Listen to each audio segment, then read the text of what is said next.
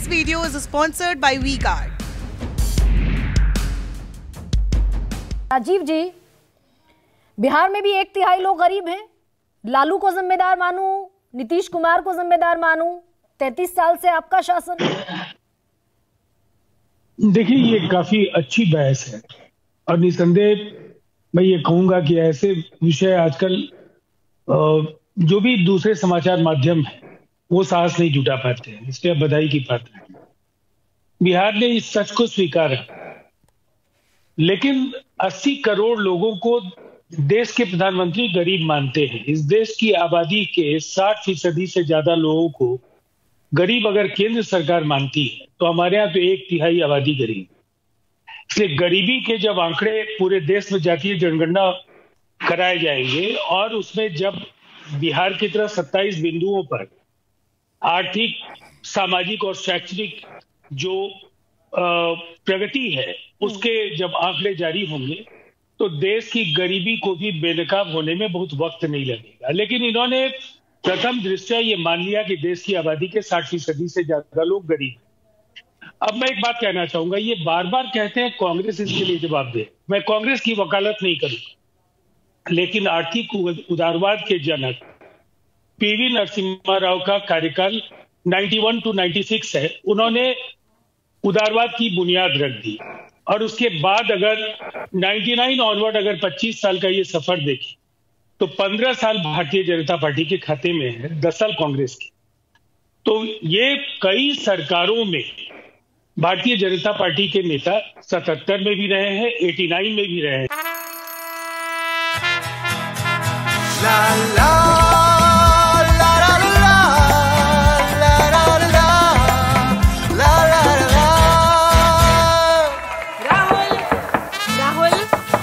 के साथ मन को जगाओ।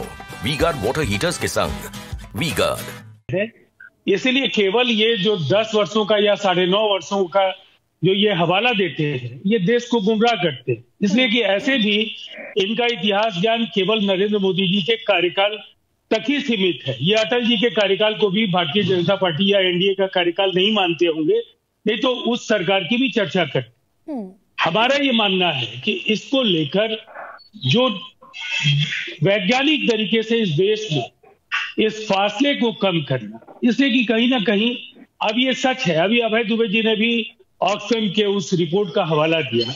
और ये सच है कि उससे जो कुछ भी सामने है संसाधनों का जो असमान वितरण हुआ है नीतियाँ अगर पूंजीपतियों को लेकर के केंद्रित रही है हाँ, टैक्सों में जो रियायतें दी गई हैं और दूसरी तरफ़ एक तरफ़ उनका कुनबा शक्तिशाली होता गया आर्थिक तौर पर बलशाली होता गया दूसरी तरफ़ इस देश के जीएसटी कलेक्शन में चौसठ फ़ीसदी का योगदान देने वाली जो इस देश की बॉटम 50 परसेंट की आबादी है।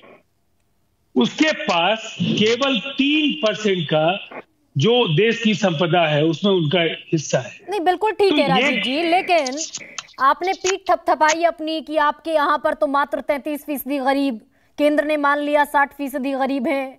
लेकिन वो गरीब दो सौ रुपए जो रोज कमा रहा है, दो सौ एक रुपया जो रोज कमा रहा है, वो आपने गरीबी रेखा से बाहर निकाल दिया।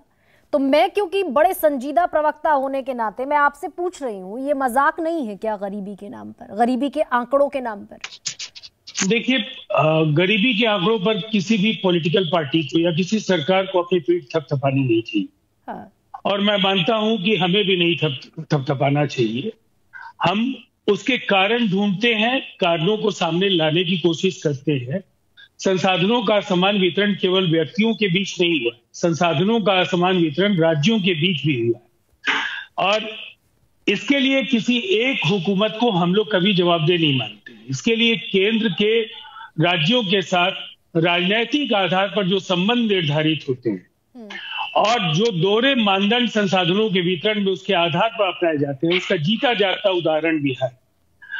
हमने कई बार जो ग्रोथ का इंडेक्स है उसमें नंबर एक पर पहुँचने का काम किया लेकिन बिहार की जो बुनियाद है वो इतना उसका आधार संकीर्ण है कि उससे उबरने में उसे एक मुश्त जो दशकों का जो एक हम कहेंगे सौतेला व्यवहार रहा है उसकी भरपाई स्पेशल कैटेगरी स्टेटस है। लेकिन मैं आज उस तरफ़ डिबेट को नहीं ले जाना चाहूँगा। मैं आज ये मानता हूँ कि जातीय जनगणना कराइए गरीबी के प्रामाणिक आंकड़े सामने लाइए और फिर गरीबी को दूर करने के लिए आप उन योजनाओं में गरीब परस्त नीतियाँ बनाइए।